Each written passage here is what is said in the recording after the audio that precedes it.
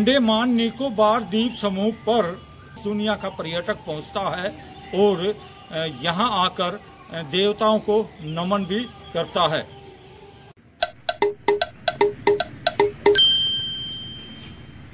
Port Blair का यह सैकड़ों वर्ष प्राचीन ऐतिहासिक टेंपल काफ़ी आकर्षण युक्त है। खास बात यह है कि यहाँ पर विभिन्न तरह के देवों को दर्शाया गया है। और यह कार्तिकेय मंदिर है।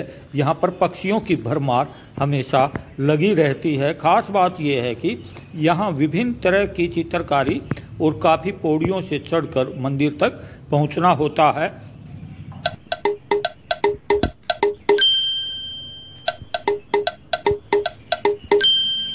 श्री वेट्रिमलई मुरुगन टेंपल है। यहाँ पे वल्ली देवसेना समेत मुरुगन स्वामी का मंदिर ये है।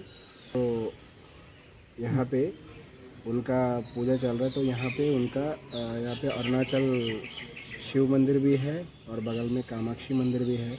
मैं यहाँ पे बहुत सारा पूजा होता है। यहाँ पे मुरुगन भगवान का जो भी पूजा हो रहा है, यहीं पे होता है।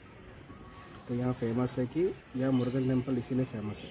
अच्छा का कार्तिकेय भगवान भी। हाँ, कार्तिक भगवान बोल जो जो बोलेंगे सुब्रमण्येश्वर स्वामी बोलेंगे तेलुगु में ऐसा वेरियस नाम से बोलेंगे उनको षणमुखनाथा बोलते तो उनका मंदिर। मंदिर की छत पर विभिन्न तरह की चित्रकारी की गई है जिसमें कार्तिकेय भगवान को भी दर्शाया गया खास बात यह है कि यहाँ भगवान शिव भी विराजमान हैं। इस ब्रह्मांड में भगवान शिव की महिमा अपरंपार है और यहाँ पोर्ट ब्लेयर ऐतिहासिक स्थल पर यह सबसे पुराना और अलौकिक मंदिर है।